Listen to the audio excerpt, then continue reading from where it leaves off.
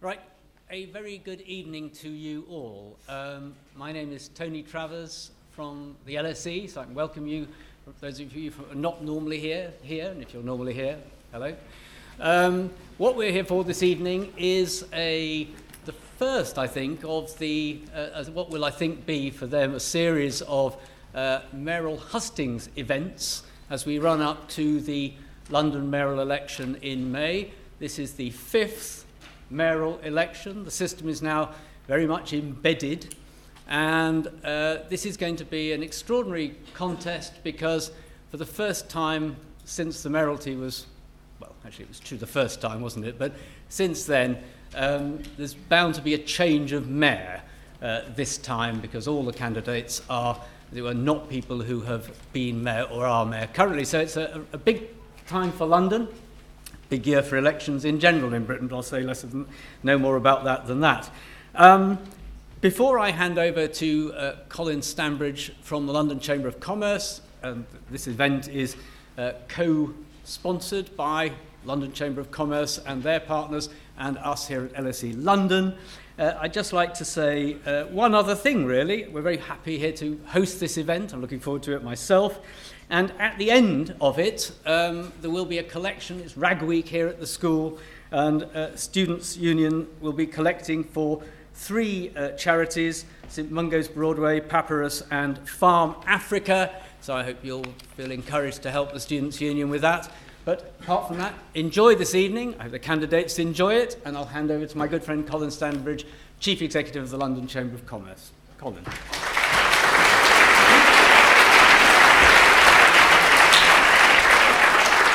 Tony, thank you, thank you very much indeed, and uh, thank you, the LSE, for hosting us this evening. It's a fantastic uh, auditorium to be able to have what, as Tony said, is the first of the major London mayoral debates. Uh, it's going to be a big year uh, for all of them and a big year for London, uh, and there's plenty to be done. Tonight's event is the culmination of something you probably saw outside as you were queuing to come in uh, of London Tomorrow. That's our thought leadership uh, campaign uh, at the Chamber, uh, which has been supported tremendously uh, by EY uh, and City Airport. Without them, especially EY, we'd never have been able to put that on.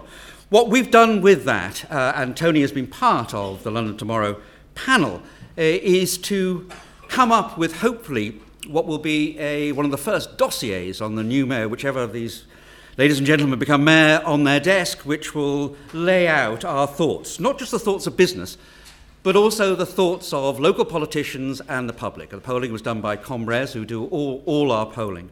Uh, and it comes across the sort of affordability and competitiveness of London, infrastructure, devolution, the sorts of things that we hope the new mayor uh, will be in a position to tackle. So, as I say, this event tonight is the culmination because we are able to, uh, to say to uh, the main mayoral candidates, uh, these are the sorts of things that you should be thinking about, and we want to hear as the debate goes on what you have to say about it. Just to give you a flavour of that, uh, we've prepared a short video. So if we could play the video, I hope it'll give you an idea about London tomorrow.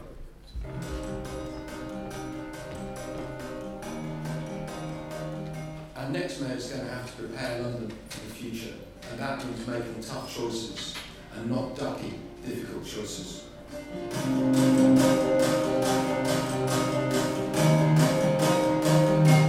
We're a really important part of London's development with the new mayor coming. EY wanted to get together leading thinkers, businessmen, local and central government politicians and really think about the issues that were going to be important. We are concerned to make sure that we come up with positive ideas, uh, and in this case, positive evidence for those politicians when they're going to make policy. Probably the single biggest issue that man needs to tackle at the moment is housing. Uh, house prices, rentals are increasing rapidly, well ahead of average earnings. And that means London's becoming a more and more expensive place to live, and that's a barrier to people moving here. We don't know how to bring talented people from the regions into London because we can't afford to house them. And we don't know how to stop talented people from London wanting to move to Manchester because of housing. It's quite often difficult to get infrastructure projects underway.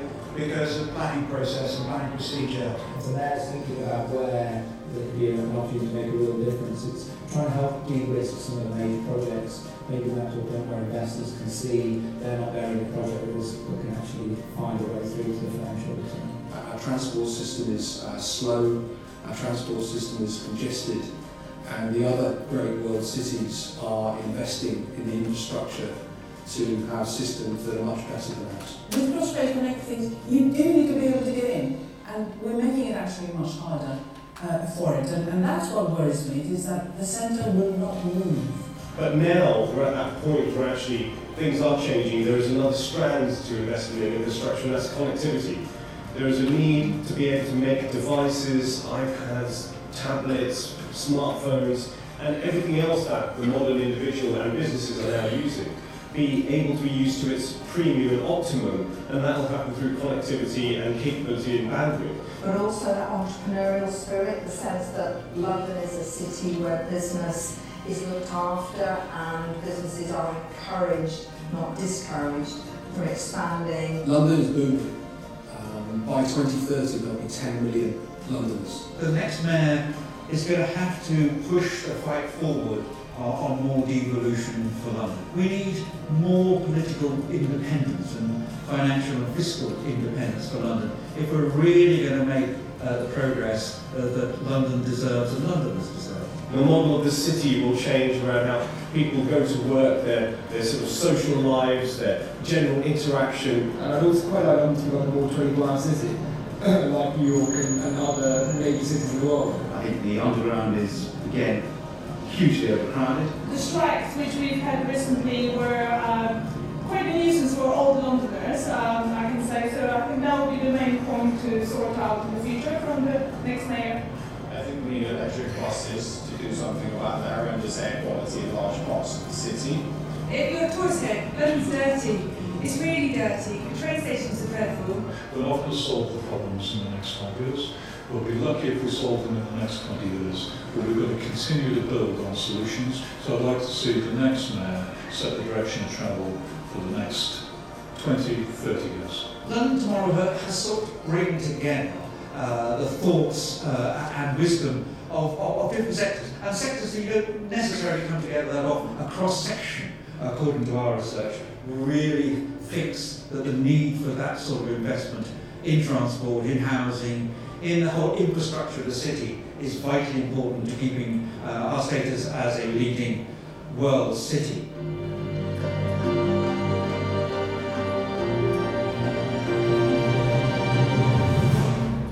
So there's not much for a new mayor to do. Um, again, I'd like to thank uh, EY and City for their help in putting on those London Tomorrow debates. Now, on to the main debate. Now, um, if you read your invite, uh, you, at this stage you're thinking, where's Tim Donovan, political editor of the BBC? Uh, well, one of the successes of this is it's become, you're all here, place is full, waiting list, and that means we're now a story. So Tim is now actually reporting this uh, rather than chairing it. So it falls to me uh, to, uh, to do the chairing.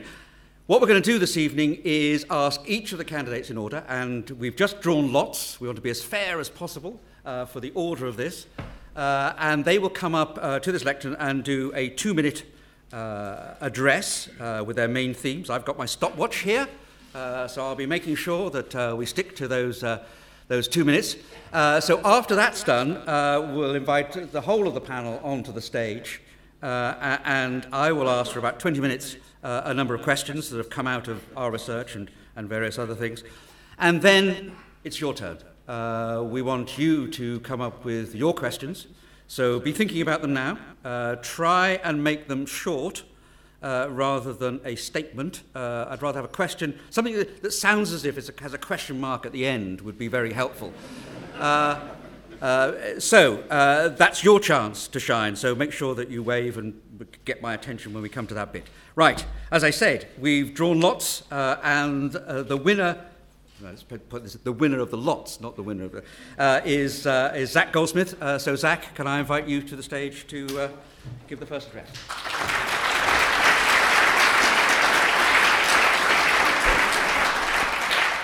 Thank you, um, thank you very much indeed. London has boomed under Boris Johnson over the last eight years.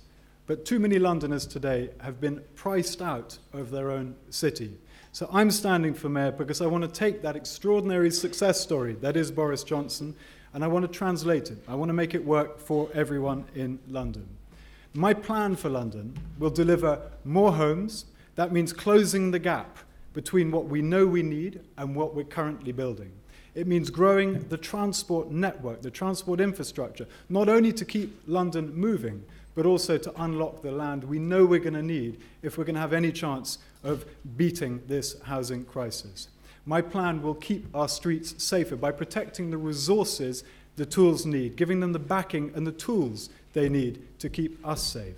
And it will focus on protecting the environment, our green spaces, our precious green belt, but also tackling the blight of air pollution, which is costing 10,000 lives every year in London. Now, it's easy when you're running up to an election to make all kinds of promises, but the issue is who can deliver the promises they make. And I rely on my record. As an MP, a working MP over the last six years in Richmond Park and North Kingston, I made promises. When I was first elected, I kept those promises. People can see in my constituency that where I needed to hold government to account, I held government to account, and that I delivered day after day after day for my constituents. And as a consequence, just a few months ago when we had a general election, I was rewarded by my constituents, by the people who know me best, with the biggest increased majority of any MP in London. I believe possibly any MP in the country. Now, the choice is very clear between a candidate who can deliver for London and a candidate who cannot deliver for London. If London backs me on May the 5th, in just 96 days' time, I will make Greater London greater still. Thank you very much.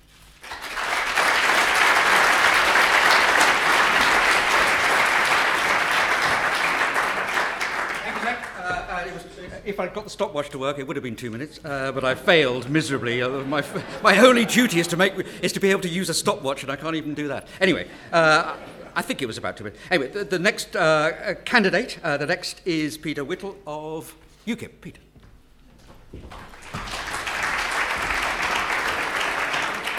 Well, thank you, ladies and gentlemen, for that clap. Um, most unexpected. Um, I'm the UKIP candidate. this is the LSE. Um, I'm the UKIP candidate in London. Uh, I'm a born and bred Londoner, like my father before me and my grandparents. They were from Peckham, and I grew up in southeast London in, in Woolwich. And so I'm a Londoner through and through. And uh, I don't know whether you know what I mean, but when you talk about being a Londoner, it's something which for me actually informs my whole character. You know, I look at the world in a particular way, uh, and I love this city. So uh, when we, I looked through the various uh, recommendations and the things that were in the report and the great work actually I think that London uh, tomorrow has put forward. And they are all infrastructure problems. They're about how we make our businesses thrive. And if you sort of think of the economy of London, as being uh, its body, if you like, like a machine, then it's obviously crucial that, you know, that it works most efficiently. But secondly, also, there is the quality of life of people in that city. And I think this is something which in the past 10, 20 years we have seriously uh, neglected. Now, I would say to you that I will be different tonight in two ways. Um, I think you probably guessed what they are. But first of all, I think that you've got to look not just at, if you like, the supply side of things, which is what we're doing, but also at the demand. And so when we say that London is growing inexorably, which it is, you've got to sort of say, as mayor, this is something which I would want to address. Because it's not just enough to look simply at the supply side. You have to look at the demand side, and that, of course, means an ever growing population. Um, I would also say to you that I can say sincerely that I am the only candidate here tonight who believes that London has an extremely exciting future and business in London has a very exciting future outside of the EU. So thank you very much indeed. Thank you.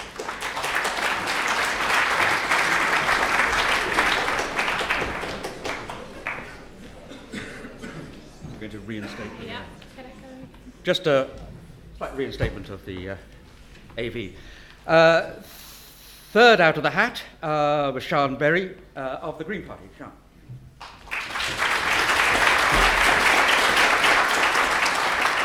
Thank you very much. Um, I'm here because I want London to succeed, but the way it succeeds is important too. The concentration of wealth in just a few hands isn't good for our city, nor is the concentration of commerce in a few large businesses, while smaller firms struggle even to find premises. My approach to the economy is to help businesses build a more diverse, more resilient economy for London. We need to do more to help our smaller enterprises to grow, to make our town centres places that are pleasant and thriving right across London, not just in the overheated centre. I've been listening to Londoners and putting together a manifesto to help everyone have a stake in our future. I believe in the power of good ideas, and here's three we've announced so far. Reducing the fare zones and abolishing them completely by 2025 is the most revolutionary idea for London's transport since the introduction of the travel card in 1983, and it's got everyone talking about it. It will help many workers and students who, live, who are forced to live further out to save serious amounts on their travel costs. Closing City Airport and replacing it with a new quarter for homes and businesses looks ahead to when Crossrail opens and people from the cities can get easily to Heathrow. More than 11,000 people have signed up in support of this idea in just a week.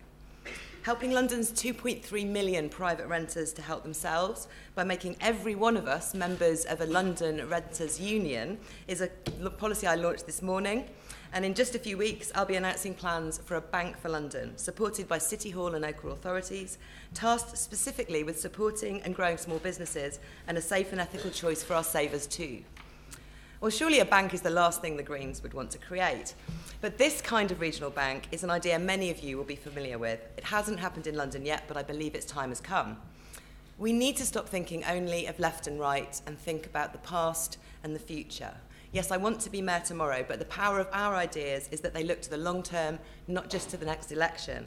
And with a Green mayor, London's future and its future success will be in safe hands. Thank you.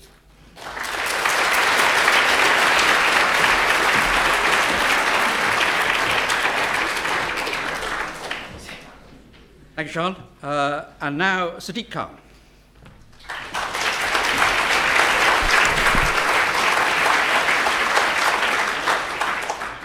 Good evening. London is the greatest city in the world, but we're at a crossroads. And if we don't act now, it could be too late. Londoners are being priced out due to the housing crisis, and the next generation I'm missing out on the opportunities that me and my family had. The opportunity to go from a council estate to help running a business, to be a transport minister, to now run to be the mayor of the greatest city in the world. The opportunity my parents have had to have a council home that was both secure and affordable. For us to go to good local state schools, be pushed by the brilliant teachers, to go to university, My one brother who didn't want to go to university got a good quality apprenticeship and is a motor mechanic, the most successful of the Khans. The, the opportunity, if you did hard work, you got a helping hand.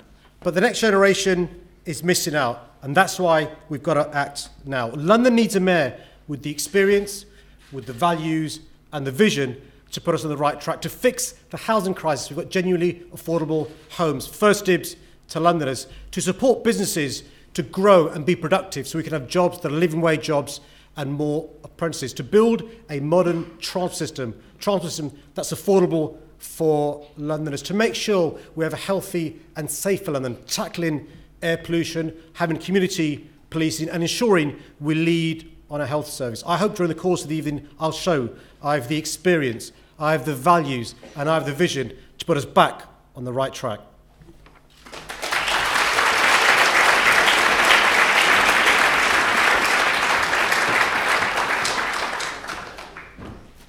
Sadiq, thank you. Uh, and now, uh, last but certainly not least, uh, Caroline Pidgeon.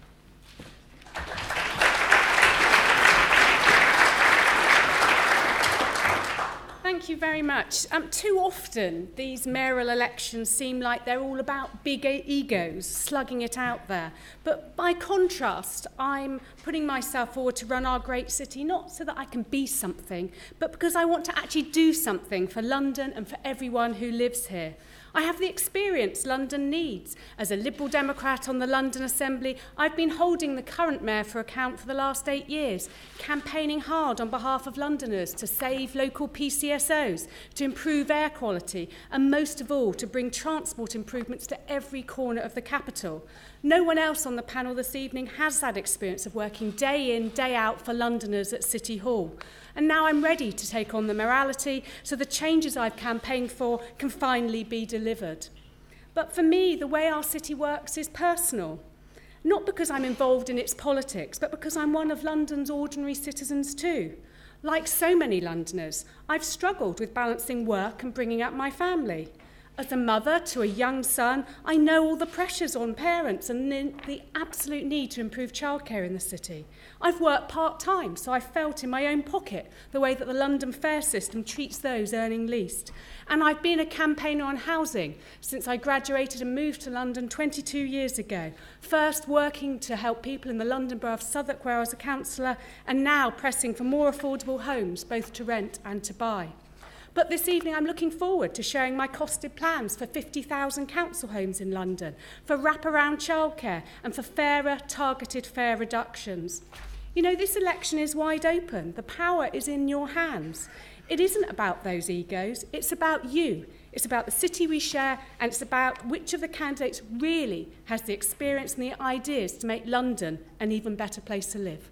I look forward to the debate.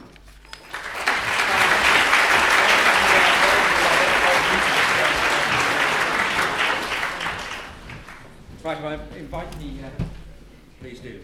Uh, I'm in the middle. Um, we will now start uh, the interview debate. Uh, just to reassure people uh, who wonder about the, the, the order of those opening uh, statements, uh, at the end we're going to allow each candidate to uh, make another statement and we'll do it, of course, in reverse order. So let's start, uh, ladies and gentlemen, uh, with some of the things that have come out of uh, our research, um, but also uh, I'd quite like to start a rather topical matter. Uh, I understand that uh, the present mayor has said today that he's not going to give uh, the Commissioner for Police a, uh, another three year period, which was under debate, but one year. So one of you will have the pleasure, the job of, of, of deciding on the future of Bernard Hogan Howe. Have you decided? Who wants to start? Zac, go on. I'm a, I'm a big fan of Bernard Hogan Howe. I've, I've, I've worked quite closely with him, uh, not as closely as I hope to be working with him after May, but he is, strikes me as someone who commands the respect both of politicians, who he's quite willing to duff up where he needs to, but also his own his own personnel, his officers. I think he strikes a good balance. Um, I think he puts London first, and he's someone in whom, from a personal point of view, I have total confidence. So he can. Um, I think Boris has tell made- his bank manager that he's going to get another. Th- I few think get. that we, it, it would be premature to talk in such language, but he is. Um, I think Boris has done the right thing. It is right, I think, to ask for a year-long extension. It's the right policy. Sadiq. I think Boris Johnson uh, and the Home Secretary could have very easily reappointed him for four years without consulting any one of us. And Boris Johnson deserves credit for uh, only extending his contract by a year to give all of us uh, a chance to see whether we want to reappoint him, should we have the pleasure of, a, of being elected the Mayor of London. You, you'll appreciate, Colin, I don't want to express publicly the merits or demerits of, I might, who, of what I think of Bernard uh, Hogan, how bearing in mind uh, that obviously he's on probation now from uh, Boris Johnson, Home Secretary. The key thing is this, we've got to make Londoners not simply safer, but feel safer as well. I applaud Bernard Hogan Howe's campaign with MPs from all parties to make sure the police budget wasn't cut further. We've lost so many uniformed officers over the last uh, four years. Knife crimes going up, uh, crimes against women is going up, uh, crimes with, uh, with gun uh, is going up, gang crime is uh, going up. Neighbourhood policing is crucial. And so I'm pleased Bernard Hogan believes that that's uh, crucial. But, you know, the most successful way we, we fight terrorism is neighbourhood policing. The intelligence the police receive from the community to keep us uh, uh safe. And what's really important, whoever the next commissioner is, is fighting with a mayor who's on the side of Londoners to ensure that we have uh, the bobbies back on the beat and policing by consent. Caroline. Yeah, well, I've worked with a number of commissioners over my eight years at City Hall, and I have to say I have most confidence in Bernard Hogan Howe. I think he's been an excellent commissioner, apart from around the issue of water cannon, where he put, supported the case to the Home Secretary, which was completely wrong, and we should never have had the idea of even bought, buying them and putting them out on the streets of London. But I think um, actually it's really unfortunate we're having this discussion in public. Who else would you be discussing whether they can keep their job or not in public? I think that's regrettable. I, I personally um, very much support him. I've worked closely with him and I hope he continues to be the Commissioner in London. Sian. Uh, yeah, so the Greens um, on the London Assembly for the past eight years have worked quite closely on lots of policing issues. Um, and I think it's really important actually that constitutionally the, the Mayor has the ability to set the priorities for the police um, and that having the choice of uh, whether you want to make a change of direction, whether you want to change the Commissioner um, in a year's time is, is a really good idea. Um, I'm completely with Caroline on the water cannon issue, um, and I think um, there are some, there are definitely issues with the cuts. I think it's good that we were successful in reducing the amount of cuts that we face for the police, um, but we may want to do more work to reassign police officers away from certain duties and onto different duties that are more conductive to um, supporting the community and more about preventing crime. Um, certainly away from things like which Jenny Jones has been exposing, uh, which is the infiltration of uh, campaign groups who are entirely Oh. peaceful and shouldn't have the police uh, um, attacking them or infiltrating them and huge amounts spent on undercover operations. So, uh, you, you know, we may want to make a different direction, but I'll, I'll be very premature to say Cheaper so car, now. perhaps? and a cheaper car, perhaps, yes. Peter, you're the only person now standing between Bernard Hogan Howe's good night's sleep tonight and. Uh, so, so, so are you going to endorse him as well? I don't fight. Uh, no, no. I, I, I think we should, when there is a new mayor, there should be continuity. Um, and uh, certainly, I've been impressed by him. But I think that um, I sort of slightly uh, would uh, echo something that Steve said. Actually, I think that the the general uh, issue is far deeper, which is the one thing you know when you're talking about the police that you come across time and again is that they have sort of become disconnected and there Mm, needs to be a reconnection. This country has always had an extraordinary um, attitude to its police, actually. Um, you know, compared to, for example, many European countries. Uh, they sort of were seen as citizens who came out of, of the working class, basically, and that they were sort of on your side. That, I think, to an extent, is sort of breaking down, and there's a trust problem. Um, so I think that that is the overriding issue. That's the one thing people say, I want to see neighbourhood police. I would like to know who they are. And maybe it's a little bit wishful thinking in this day and age, but it would be good if they even came from the area in which they are meant to be uh, patrolling. Um, so, you know, without getting too uh, rose-tinted and nostalgic, I think that this is the sort of policing which I think would re, uh, reaffirm trust again in, in the police. Right, thank you very much indeed. We'll, uh, we'll be on the phone to Bernard, tell him his job's safe now.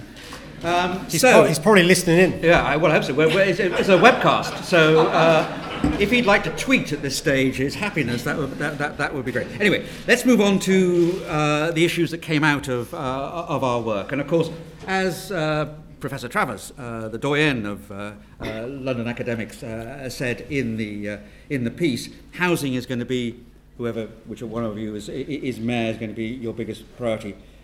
How are you going to build 50,000 houses a year, uh, given shortage of skills, uh, shortage of land, all the other problems uh, that come through?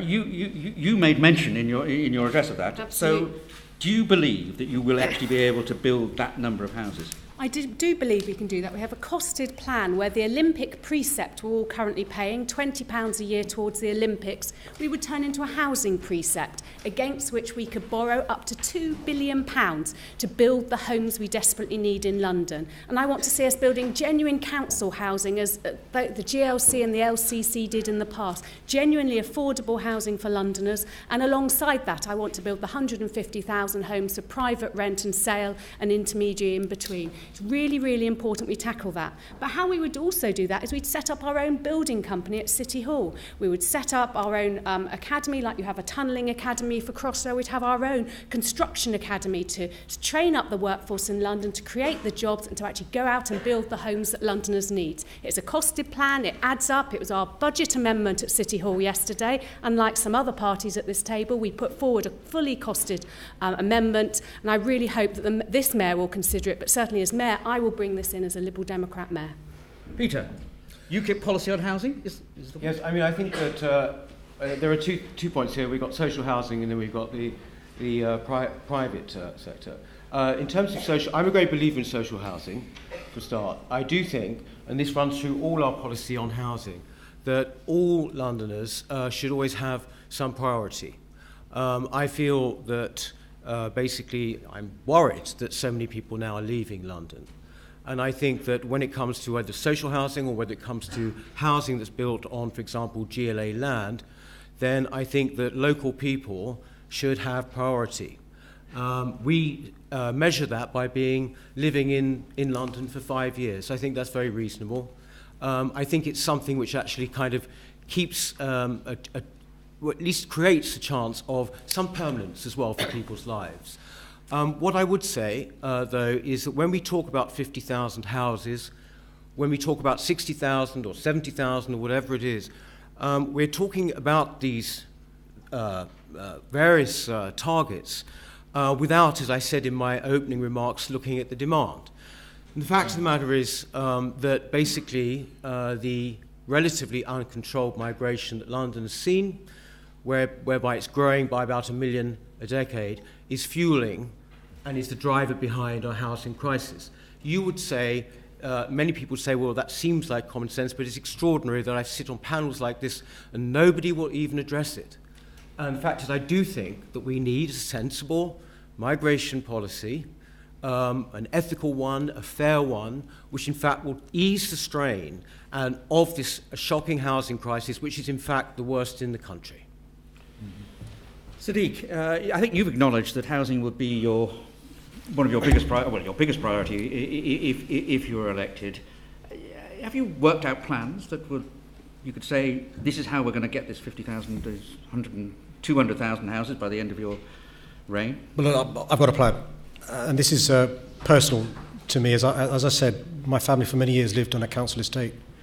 Father's bus driver, mum sewed clothes to help support the family. The council home, and it was a home, gave us security of knowing in 12 months' time there wouldn't be a landlord rocking up saying, we're going to increase your rent by 15% or you've got to move out, and gave us affordability so my parents could put money aside to fulfill their wish and dream to own a property of their own to pay for their deposit.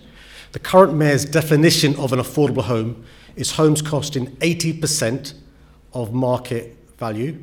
Zac's definition of an affordable home is a home costing £450,000.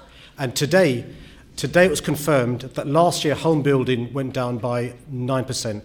Home building is going down, rents are going up. So we need to build more genuinely affordable homes in London. Shell to say, to be able to afford one of Zac's affordable homes, you need to have an annual salary of £77,000 plus a deposit of £98,000. So I want to set up in City Hall a Homes for Londoners, which will do what it says on the tin. Half of all new homes in London need to be genuinely affordable, either with a social rent, the average in London is about £100 uh, a week, a London living rent, which is a third of average earnings, linked to earnings rather than market value, and or homes you can afford to buy, shared ownership or rent by half, genuinely affordable. I'd also stop this scandal of developers selling homes in London to investors in the Middle East and Asia as investments. We can't allow our homes to be used as gold bricks.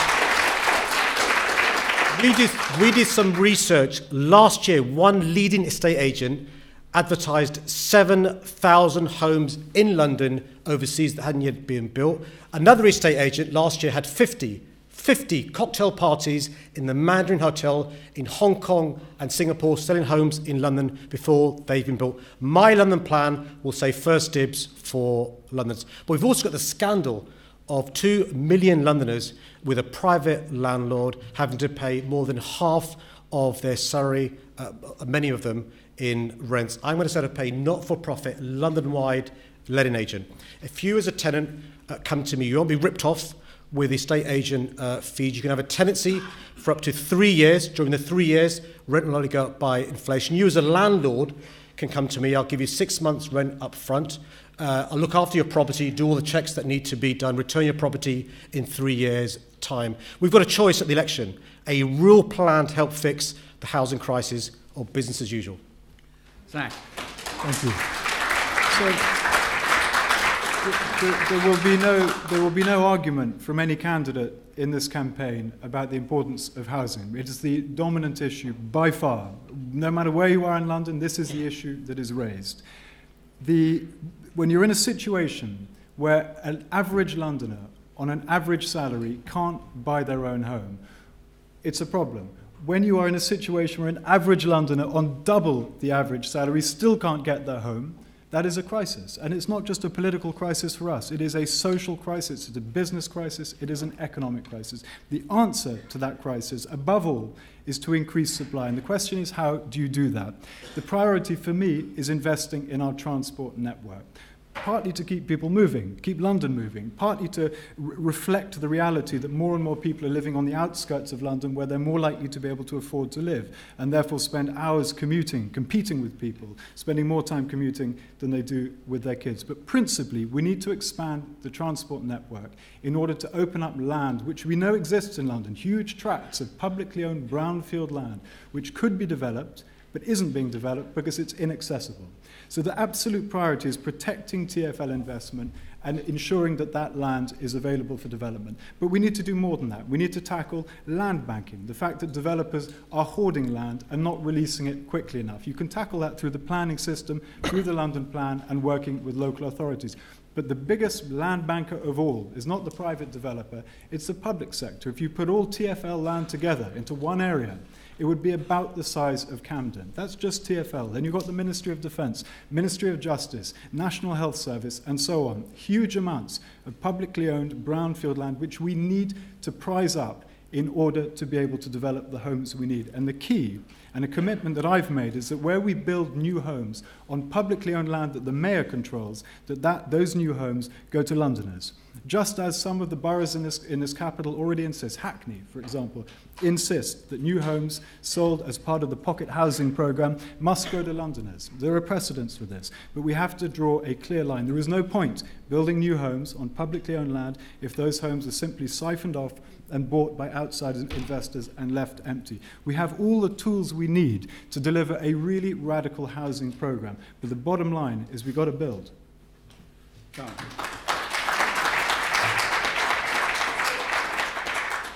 I don't think that ca- tackled the affordability issue just then. Um, but there's, I mean, as we can see from all the answers that we've had, um, there is a severe problem with housing um, in the city.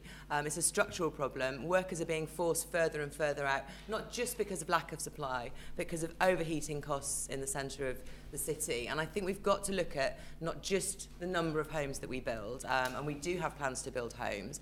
And the Olympic precept is a green budget amendment from yesterday as well. And I think it's I think such it copied out from last idea. year, Sian. Yeah, yeah. I think it's um, this is a real choice we have when the Olympic precept runs out, whether or not we give a cut in council tax or whether or not we say let's keep that precept going we spent it on something spectacular. Let's spend it on something equally spectacular and spend it on restoring the social housing grants that are stopping so many homes being replaced by councils when they redevelop their estates. And I should say also that we have seen the net loss of 8,000 homes on council estates in regeneration projects. And this is due to Labour councils taking these estates, demolishing them, realising that they're in trouble with the finances, and ending up building a lot of private homes that ordinary Londoners can't afford, and the people who used to live on those estates are being turfed out. Now, we have to solve that problem. We have to get the money from somewhere, and I hope the other candidates will adopt the Olympic precept idea because giving a council tax cut in that circumstance, when we've got this enormous crisis, um, I think would be a mistake. Um, I also, as well as talking about um, buying new homes and building new homes, we have to look at the affordability of the existing homes we have. I'm a private renter. Um, I think I'm the only one of us who does rent their home privately. I do.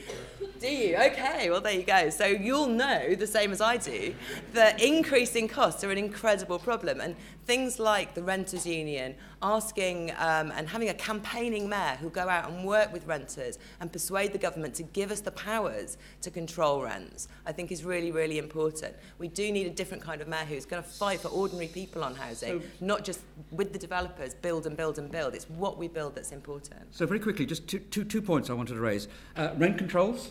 Is anyone going to? Im- yes. Well, you're afraid you're not running, so it's a bit slightly difficult for you to, to, to oppose that. Uh, rent controls and the green belt. I mean, because some, somebody someday is going to have to have the real debate uh, about the green belt. Anybody thinks that we should, um, you know, have? I mean, actually.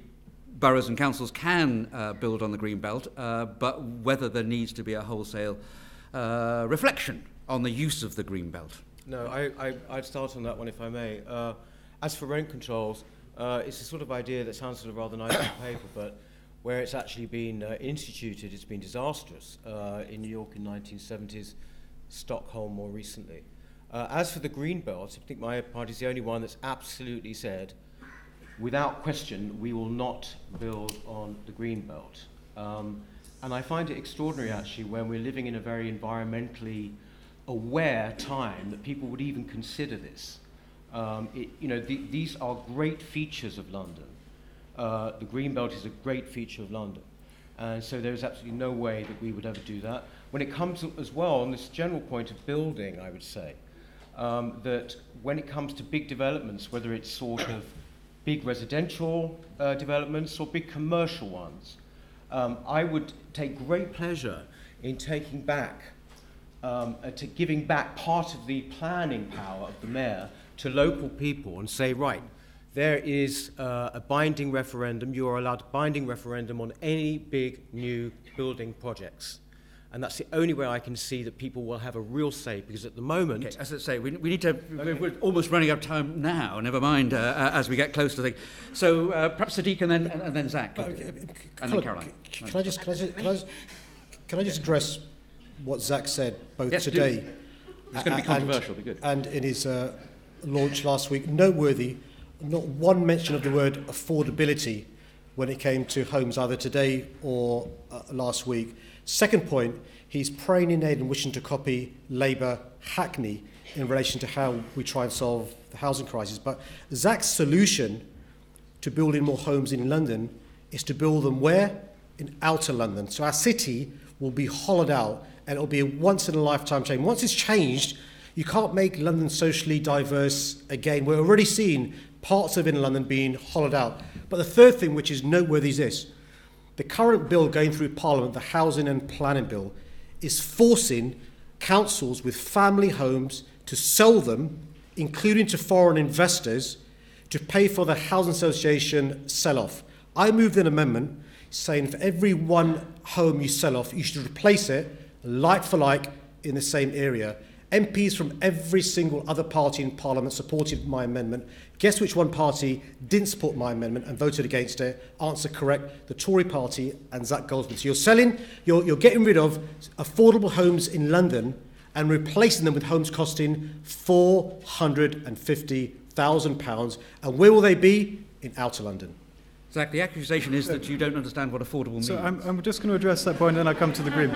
You, it, it makes no sense in the London context to polarize the debate between market homes, i.e., no subsidy, and social homes. If you are on an average London salary, if you're a young professional just starting out, you will never qualify for a social home, which means a social home is as unattainable for you as a giant mansion in Kensington is. You have a, a, a, an appropriate housing policy for London is one which caters for people across the income spectrum, both in terms of purchase but also in terms of rent. There are two million renters in London. Many of them get a very, very raw deal today. They have uncertain tenancies or poor conditions. In many cases, they have rogue landlords. But we can tackle that, and we are tackling that. The very same housing bill that Sadiq has, has voted down, I believe, or voted against, has an, an unprecedented unprecedented emphasis on tackling rogue landlord. It is now possible for local authorities to blacklist landlords, to apply immediate fines on landlords, to strike them off, and to require them to pay back rent to people they've mistreated. This is unprecedented, and it moves us a giant step forward. There is an enormous amount in the housing bill, and I'm amazed that, the, that, that Sadiq Khan took the blanket approach of simply voting something down because he disagreed with aspects of it. I want to answer the point about the green belt. There is no need. There, um, I, I agree with the opposition, but I have to say that I'm absolutely on the record saying the green belt is a, it is a black line. You simply do not build on it. You don't need to build on it if you continue to protect TFL investment. If you take two billion pounds out of the TFL budget, as Sadiq has said he will do, then nonsense. you can. Then it is not nonsense. Then you cannot. You Even cannot, Boris accepts it's nonsense. You cannot then grow the transport infrastructure. If you don't extend the tram link to Sutton, you can't build 20,000 homes there. If you don't extend the overground to Barking, you don't. You lose the possibility of building about 30,000 homes. If you don't extend Crossrail to Ebbsfleet, you lose the ability there to build tens of thousands of homes. Growing the transport network is, will, is what will allow us to, eh, to, to build on brownfield sites without encroaching on the green belt or green spaces. The two are inseparable. You are the renter here. What about yeah. rent controls? So the bit on the bit on rogue landlords in the housing bill is absolutely tiny, Please, thank you. and we are still. well, Let's not forget subsidising private landlords. Yeah, Um, we are giving them tax breaks uh, to the tune of I think 11 billion a year. Um, I've written to the Chancellor. I'm going to write to him again for this budget. I wrote to him for the Including many MPs. Many MPs are landlords. Review. Yeah, you get you get all your tax back on uh, you get all your tax back at the basic rate on your mortgage mortgage interest, and that should not happen. I've asked for that to be removed and for that money to be given to devolve to, to local areas to, to contribute towards social housing renewal as well. And if we do social housing renewal properly, like it was when we first put social housing together, it isn't supposed to be for people who qualify, for people who can point to all their bad circumstances. It's supposed to be good, secure ho- housing for working people of all kinds. Um, and that's the principle that we're losing here by, by decimating it and not building again. On Greenbelt, very quickly, um, I'm very much against building on the green belt. I think uh, there are many opportunities we should take before we do that as a very, very last resort, and I don't think we're anywhere near that yet.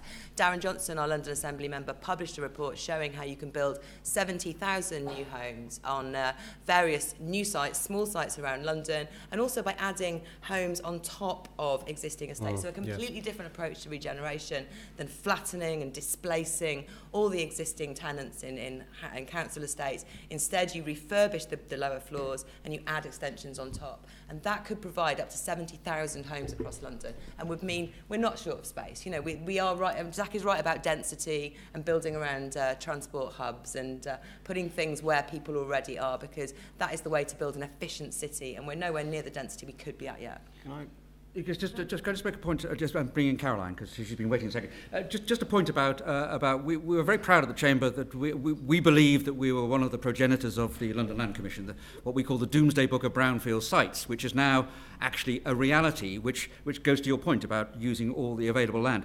But there are arguments, it has to be said, uh, that, that, that actually the Green Belt is a corset that outside the Green Belt, north of the Green Belt, as it were, or south or east or whatever it is, is actually you get terrible development because actually you've just squeezed it out there. So it, it isn't all good news to have a green belt. Caroline, what's, what's no, you absolutely have to protect the green belt. We have to stop this complete sprawl of London out out to uh, beyond the suburbs. So I don't believe that we should be building on the green belt. But we have got brownfield sites around London. We've got sites around London over 200,000 homes could be built on if actually the developers who own those sites, instead of just trying to wait for the land to go up in value, actually got on and built the homes. And that's why I really strongly believe that City Hall has got to have its own building company. We have relied on the private sector for too long to build all the homes we need in London. And ultimately, their profits still go up, but we don't have the supply of homes we need. And if we're to tackle the issues of private housing, we've got to build more homes. That will help the rent levels stabilise and come down. We need to do these things. We need to bring in things like selective licensing to protect private tenants against rogue landlords.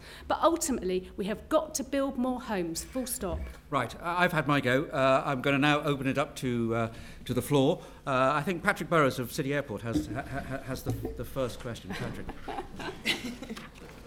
Uh, you, might, you might imagine what the question Sian, might be, really. It's for you, I think. Uh, Sian, um, there's the microphone. Uh, Go on, go on, Patrick. That would be far, far too predictable, Colin. um, I, I London City Airport sits in the middle of the Royal Docks, uh, which is in the middle of the Mayor's Enterprise Zone.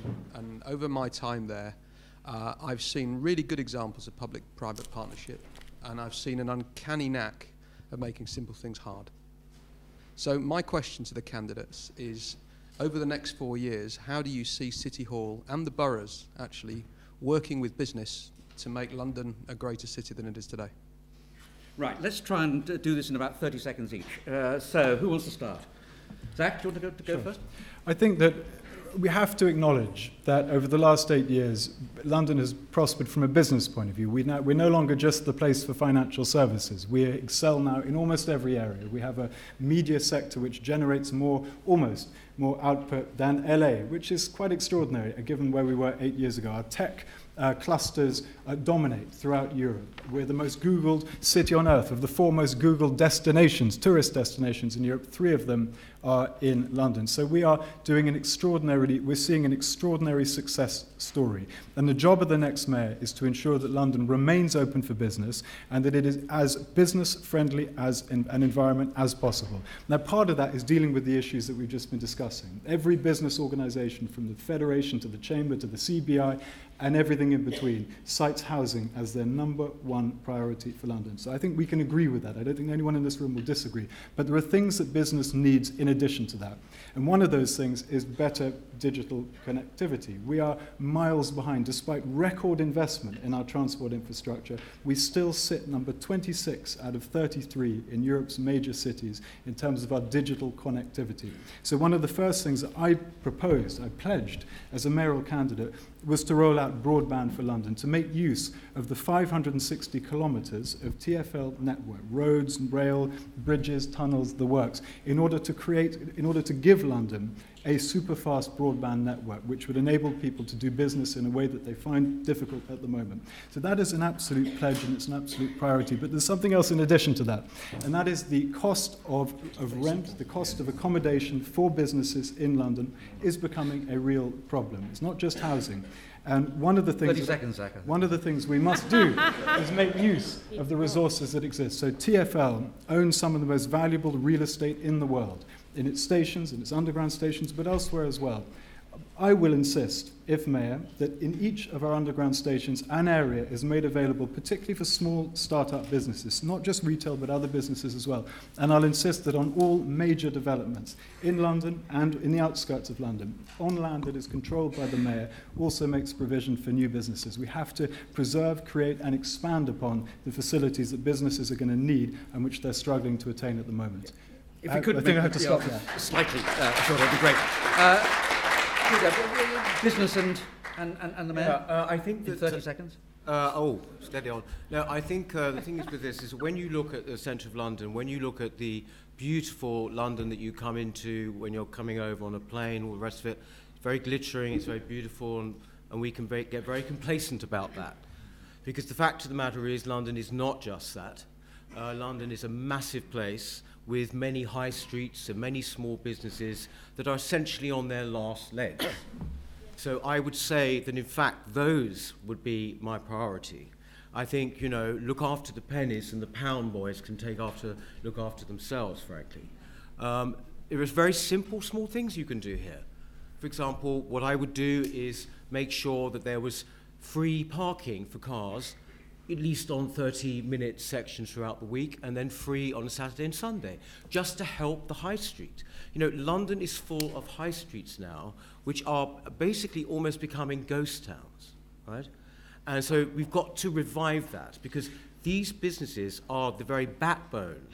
You know, 5.2 billion small to medium businesses in Britain, of which hundreds of thousands are in London. You know, this is extremely important. This is you know, people's livelihoods we're talking about. It's also about the quality of their lives. It's about the local community. So I would say that that is, without question, one of the most important things. Um, and also, uh, you know, I'm, as you know, want to come out of the EU. Those businesses um, are the ones who, contrary to what the CBI might say, are much more Eurosceptic, and they're the ones, for one good reason, they have to deal with all the strangling uh, bureaucracy and regulation that comes out of the EU, even when they don't trade in the E EU. Peter, thank you. So you said you're going to be the most pro-business mayor there's ever been. Well, look, I- I'm also going to I'm also going to try and answer that uh, 30 second question Great. in six minutes. Oh, God. How about What, what, two? what, one of the reasons I think it's crucial for the next mayor to be the most pro-business mayor we've ever seen is because our city has been successful over a thousand years because of our openness to ideas, to people, and to trade. So I'm going to work with businesses to solve some of our problems. Why don't businesses help finance some of the homes we need to build? And the quid pro quo is you can house some of your staff in the new homes we build on public uh, land. Why don't you work with me in relation to infrastructure projects? I was the minister who took through the Business Rate Supplement Act. People may not realise, but London's businesses are paying £4 billion towards Crossrail 1. Why don't we work together to build the infrastructure that many of us think we need in London? Why don't we work together to, to incentivise employers to pay London living wage? Some Labour councils like Lewisham and Brent are reducing the business rates to help employers pay a London living wage. Let's argue with the government that we should have the power over business rates. Let's have a business advisory board, not made up of political patsies, but made up of London's leading businesses, to advise on what's best for London. A skills for Londoners. Learning from the Mayor of New York, who's got a tech talent pipeline.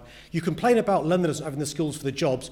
Work with me to train up Londoners to have the skills today they need for the jobs of uh, tomorrow. Work with me to argue the case for us staying in the European Union. We are the engine that drives the UK economy. 500 jobs in London are dependent on us being a member of the European Union. 60% of non EU companies have their EU headquarters here in London. I'm pa- a passionate pro European, I'm a passionate uh, business supporter because it's in the best interests of London. Caroline. Yeah.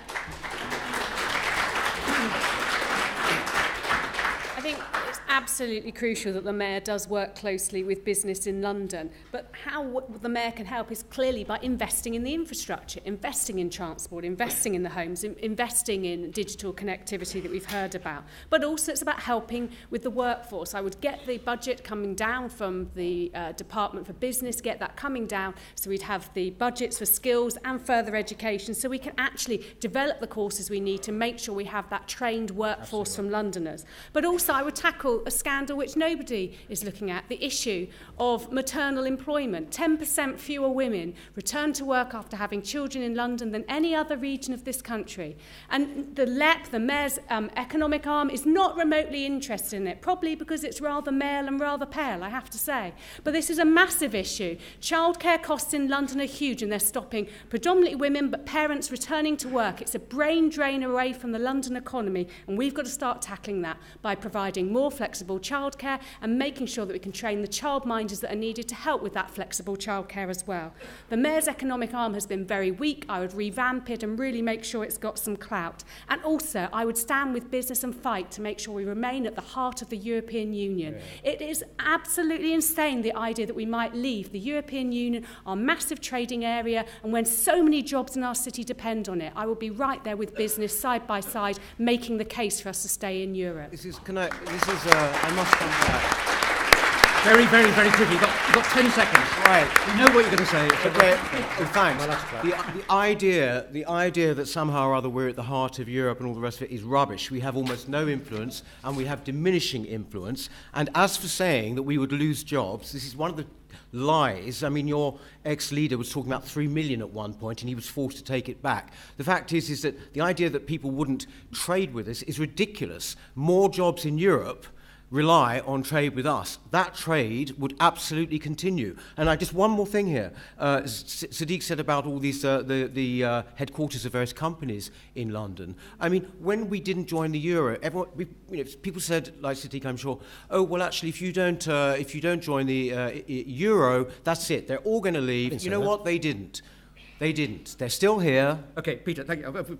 Uh, Yeah. Let's let Sian. Sian, you, you, you've already sacked uh, um, uh, Patrick uh, by closing down City Airport. I mean, i- i- what's the relationship with business going to be like under a, under a mayor like you? So, so um, yeah, I so think we're what, all we're fearful for our jobs. aren't we? what I offered, what I offered uh, City Airport was actually a massive business opportunity. Um, the land at City Airport is used. If you go there, it's an Well, you've got to enormous. give them, give them the land so they can get their money back. It's an when you- when enormous you- space um, on which planes land, and there's a great, enormous amount of land there which could be much better used for housing. It's very, very close to the City of London, and the airport itself blights with air pollution and noise huge amounts of Newham and other areas of East London. Um, it really would be better used as housing and businesses, and actually the sort of thing I proposed for the site was more or less the kind of partnership your question asks about. I thought we could bring together academic institutions, cultural institutions, businesses, new green industries, councils and city hall providing homes and build a really, really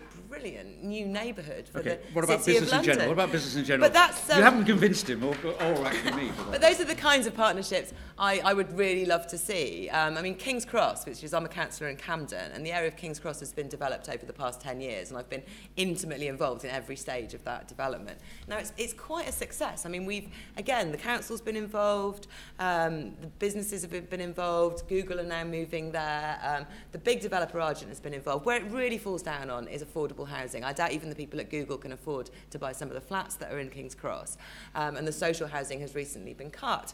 But in terms of the planning and the way people work together, it's not too bad. The difference I would make is that I would make sure with all the projects I get involved in um, that we, I'm giving Londoners a stake. So with City Airport, I wanted to make sure that people were able to buy a stake themselves in the airport. When we set up, we're doing a whole series of stuff around a Green New Deal, building new green industries.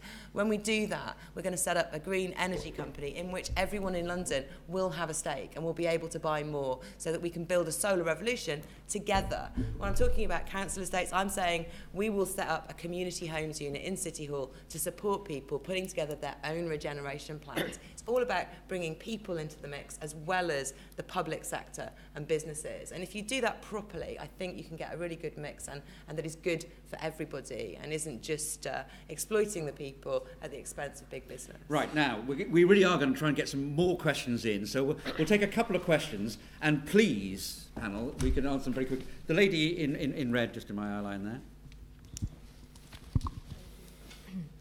Please, can you talk lady at the about? Back there. Please, can you talk about air pollution? We're literally dying out here. Will you commit to meet to meeting pollution and emissions reductions? It's a yes/no answer, and please will Excellent. you specify your timescale for that? And secondly, what part, what role do you see for cycling as part of addressing pollution problems, and how will you improve facilities for London cyclists? Okay, I've just changed my own rule. Uh, we're going to answer that question now. Uh, That's quite. so, Sadiq, uh, yes or no on Yes. So just, just, to, just to underscore how bad things are, the last full year for which there's numbers, almost 10,000 Londoners died because of air quality. There are children in parts of London whose lungs are underdeveloped. And the UK Supreme Court held that air was in breach of the air quality directive. Cycling is one of the ways we're going to help address this. Uh, A, because our public transport system can't cope, uh, so we need to expand capacity. One way is for the Chancellor to give the green light to Crossrail 2 in the, in the uh, spring uh, budget, but also we need more safe ways to cycle, uh, more superhighways. You want another uh, more, super cycle superhighway? We do, I do. And there, there, there you know, look, there are lessons to be learned about how it was how it was implemented, but we can't get away from the fact, Colin, that we need more and more Londoners cycling and cycling okay. safely. Great. Okay, Caroline.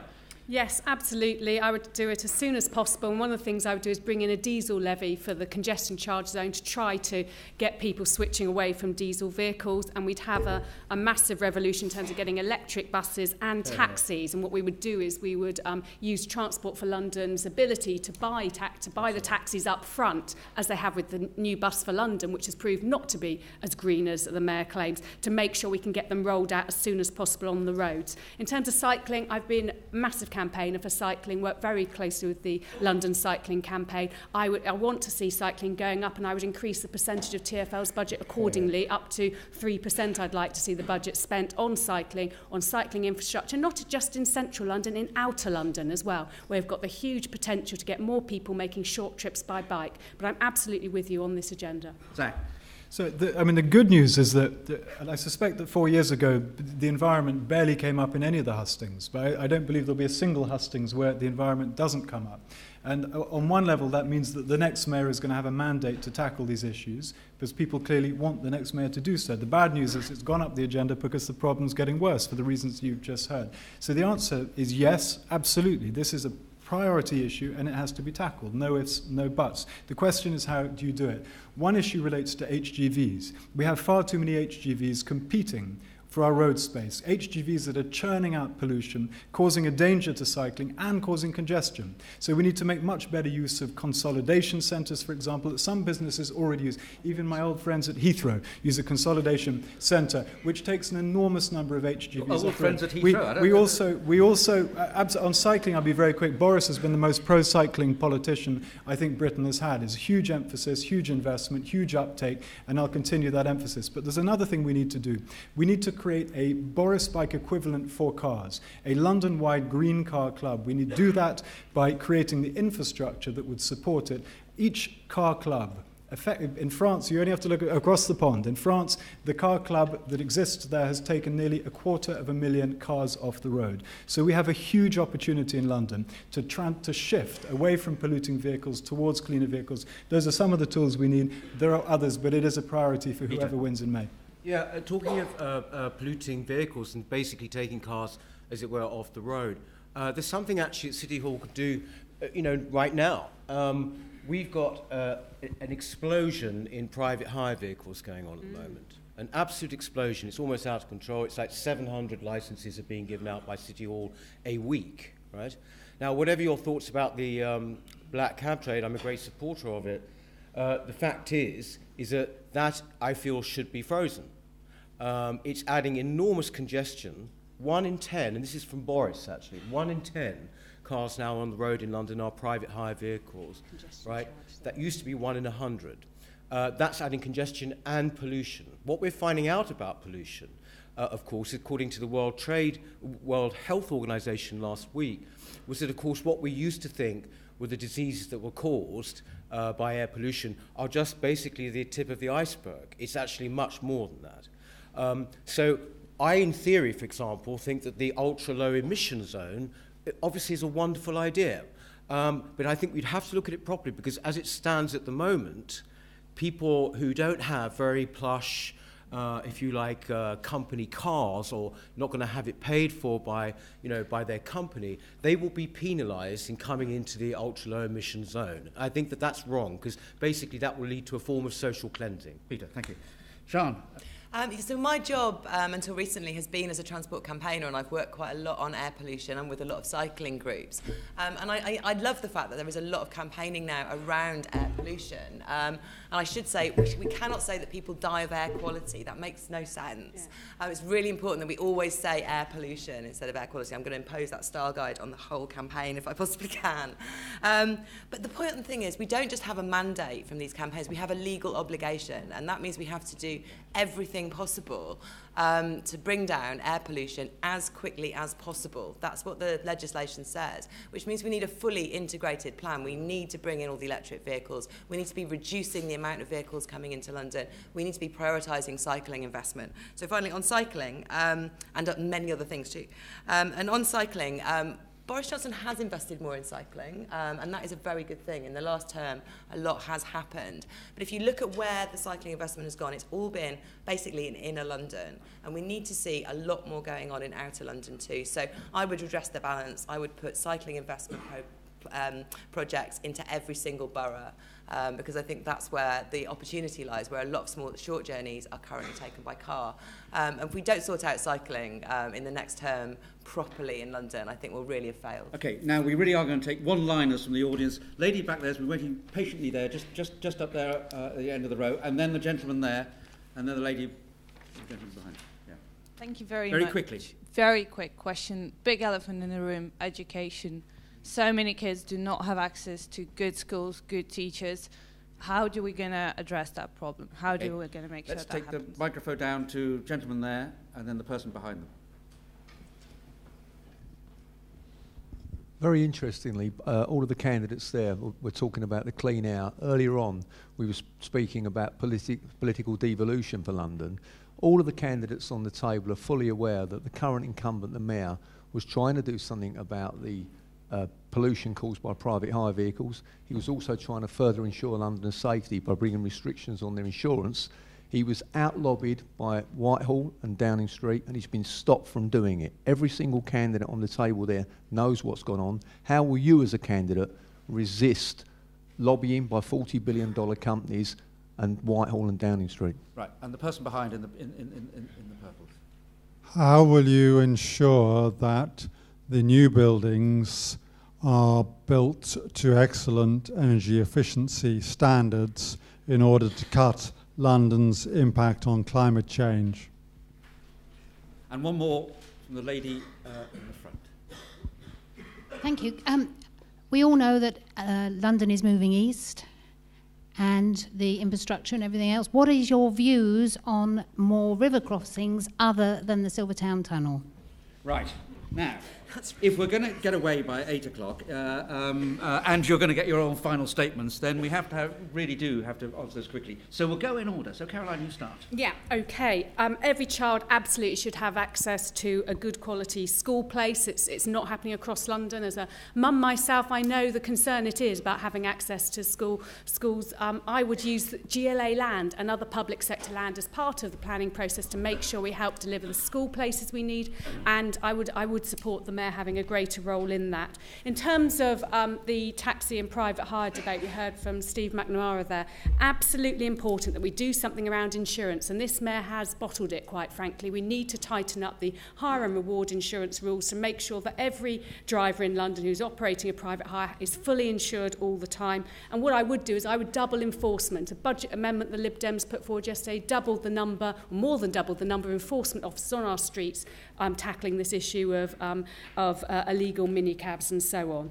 Um, and there's a lot more needs to be done there. Private hire cap absolutely is needed. New buildings, I would look at um, having experts advising me in terms of planning. We'd look at things like energy, but also look at connectivity. The idea that you can build new buildings without having the fast broadband access is astonishing. We need to have that sort of thing as tight planning conditions. River crossings, I don't support building more road river crossings in East London. What I do support is a pedestrian and cycling bridge between Rotherhithe and Canary Wharf. I think that's where we need to be investing money. We don't need more roads um, where we can just um, see the expansion of cars and lorries.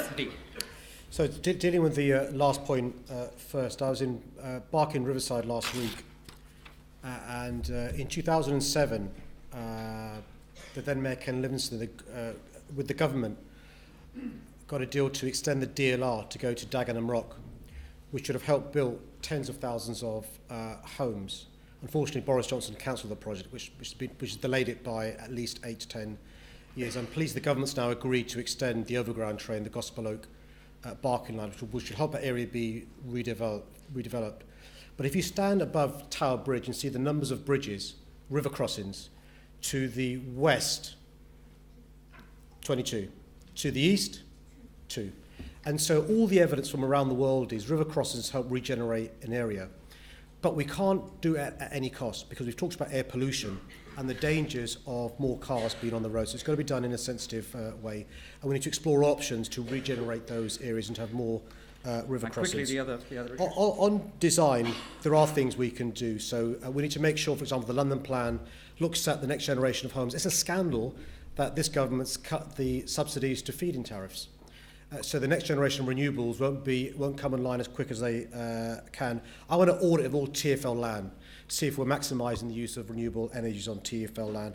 Steve, you're right. Just to remind colleagues of the numbers, there are roughly speaking 25,000 black cabs in London, almost 100,000 private hire vehicles. When you talk about congestion, and air pollution, one of the big factors is the private hire vehicle rise.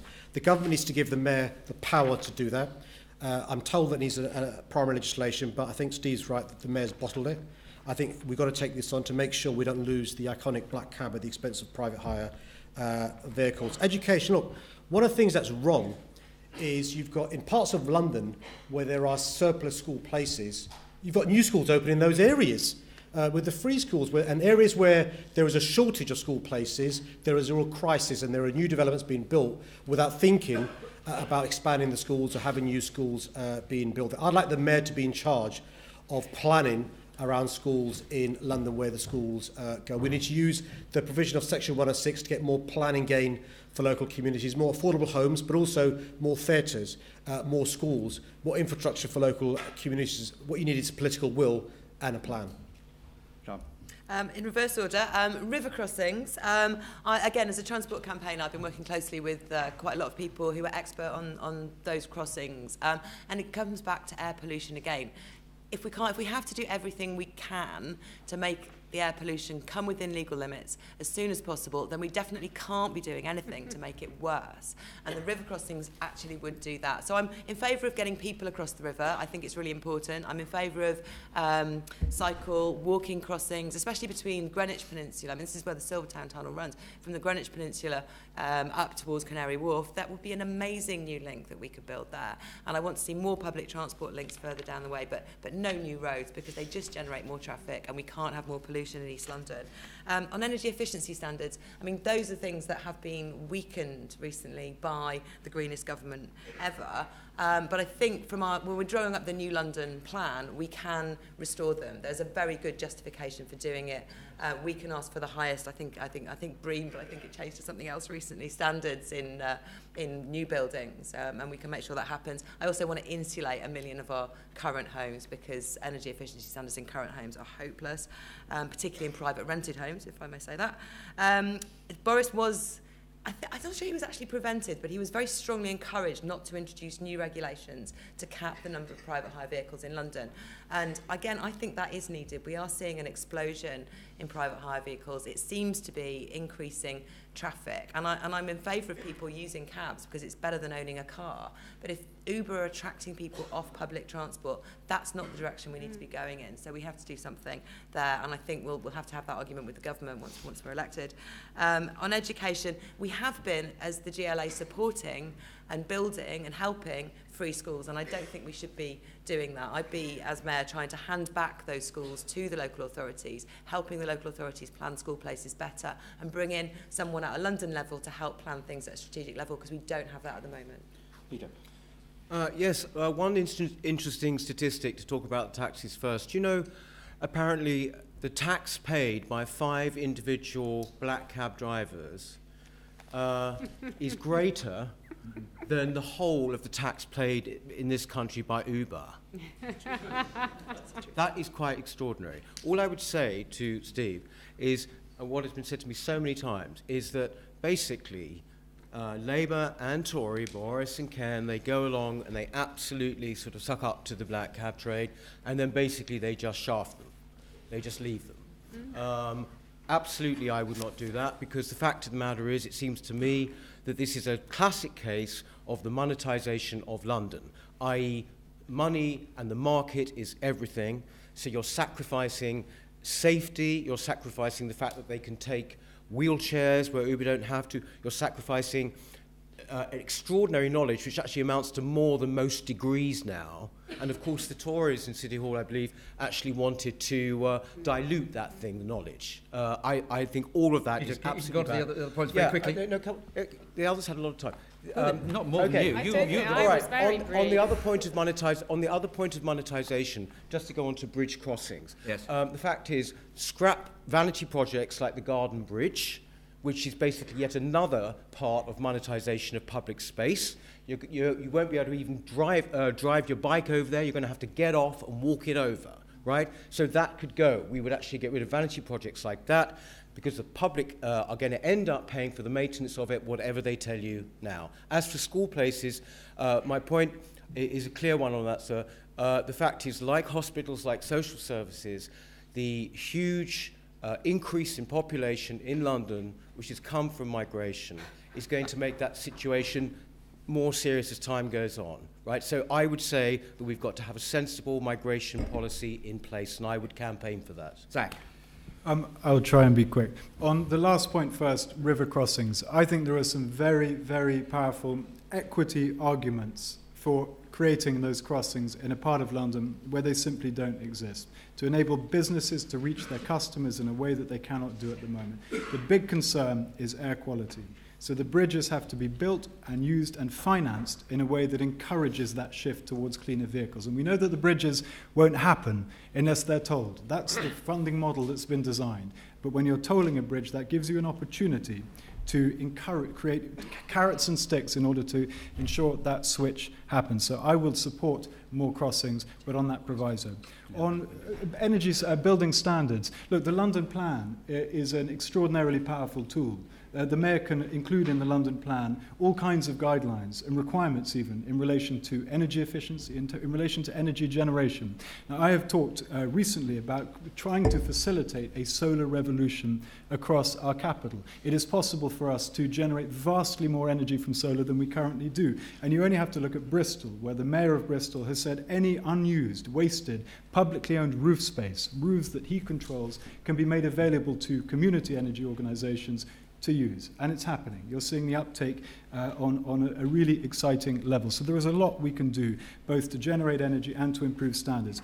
Steve, cabs. Uh, well, you know my view on cabs. We've had many discussions. I am a, I am a passionate supporter of the black cab. I, I feel that if London lost the black cab, London would be a poorer place for it. I also believe that we will lose the black cab unless some kind of intervention happens. They will go extinct, and I think that would be a tragedy. And I think it's very unfair when the defenders of the status quo talk about competition, because the black cab is not engaging in a fair competition. The black cab has to have a turning circle, adds thousands of pounds to the car, the knowledge at their own expense, four years sometimes, three to four years. They have to have wheelchair accessibility, all the things which make it much, much more expensive for someone to run a black cab, the most regulated cab service in the world.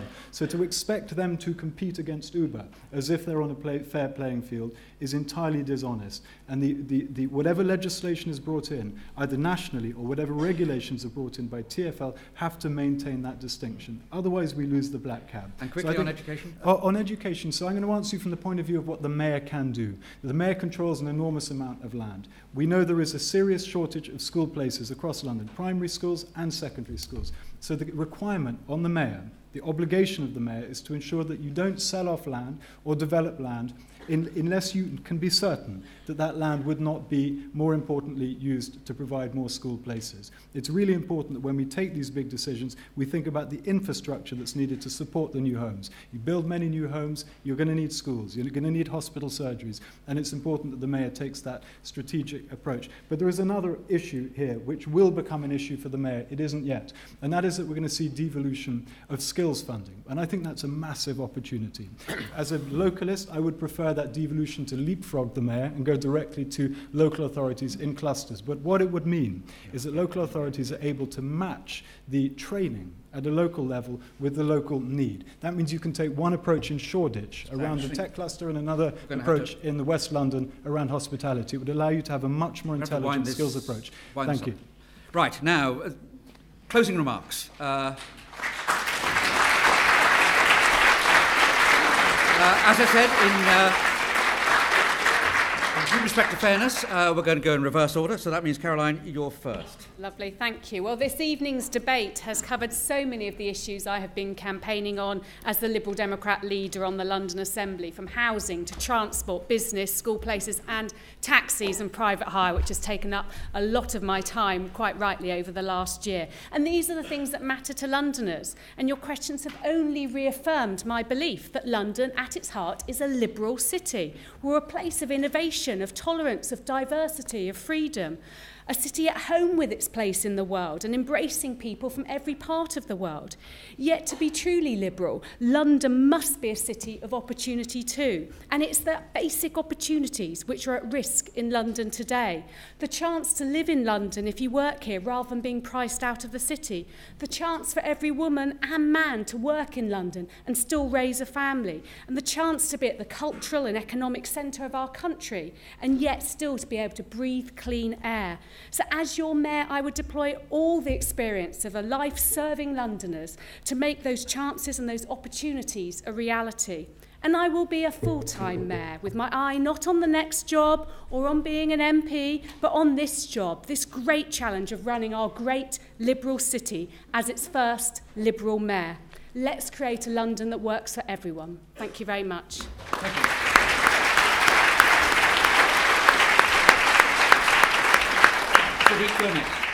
Okay, can I thank you all for giving up your evening to come along here uh, today for the first of 300 hustings between. Uh, and you've got now, to go to all of them, okay? Now and uh, May the 5th. Look, this is the greatest city in the world.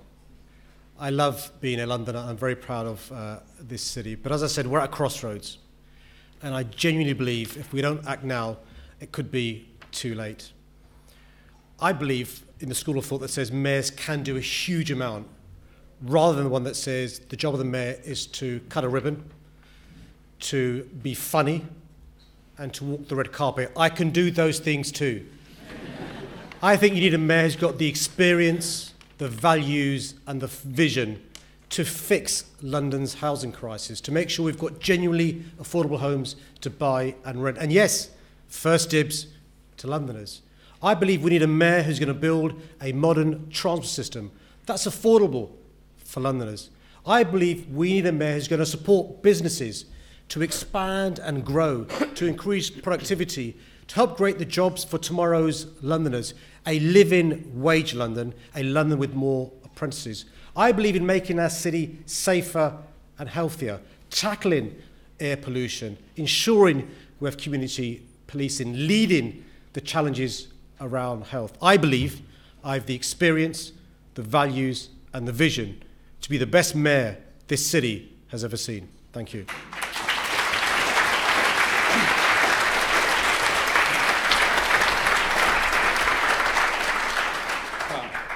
Um, so yeah, um, my party, the Greens, we start from third place in this election, um, and we've grown so much. Um, Sorry, Sian. Uh, my colleague Jenny Jones was third in 2012. We start from third place in this election, and we've grown fourfold in membership since 2012. Um, and also, we've seen much less likely winners um, of elections in recent years. So I hope you'll be taking our ideas um, very seriously indeed and really thinking about the kinds of things we can do for London. Um, green politicians, we're incredibly good value. Caroline Lucas shows this in Parliament. Darren Johnson and Jenny Jones have been on the London Assembly for 16 years and made a real difference. They've pioneered good ideas, uh, like the London Living Wage, which everyone is talking about now, but wasn't really a thing when they first started talking about it back in 2001.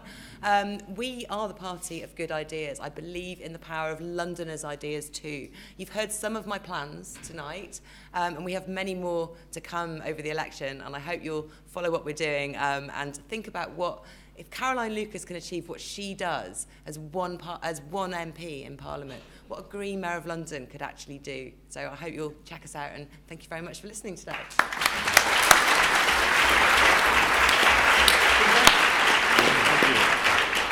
Um, thank you very much, and, and, and thank you for listening as well tonight. Um, I would say that as a Londoner, um, I will always be in London. So, therefore, it matters to me the kind of city we have. And as I said in my opening remarks, the fact is, is that I feel that we are getting to a point where London is purely a kind of very, very lavish uh, airport departure lounge or, you know, airport arrivals lounge and it's not. It's a, a city with a soul, um, and it's a city just like a country which has a past, a present, and a future, and there's got to be a kind of connecting thread through that. Um, my party cares about that sort of thing. I'm talking about all Londoners. I'm talking about the people here at the moment, Londoners, right? I am more concerned about their quality of life than maybe people who might be here in 10 years. You know, I'm, I'm worried about Londoners now.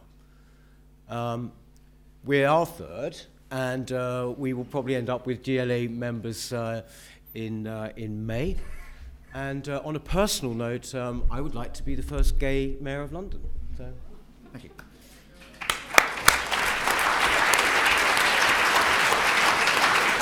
And finally, Zac. Thank you. Thank you very much for giving us your time this evening. London is at a crossroads. The challenge for the next mayor is to make London affordable to Londoners, to turn that success story into something that relates to all of our lives. Now, I have a plan. And I've told you about the plan in my introduction more housing, better transport, safer streets, and a cleaner environment. My record as a local MP shows that I can deliver that plan, but my record as a mayoral candidate over the last three months shows that I can deliver for London as a whole. Uh, when the housing bill went through Parliament, I knocked it into shape to guarantee that it would produce more affordable homes for London. When there were threats, colossal threats, to cut back on the Met's budget, I fought hard to protect the Met budget, along with my colleagues, and we won. The effect is that every community in London will be able to count on community policing, policing neighbourhood policing, for the years to come. And I campaign to ensure that where strikes happen on our underground, they can only happen with a clear and proper mandate. That's what I've done as a mayoral candidate over the last two or three months. Imagine what I can do if I'm mayor. Thank you.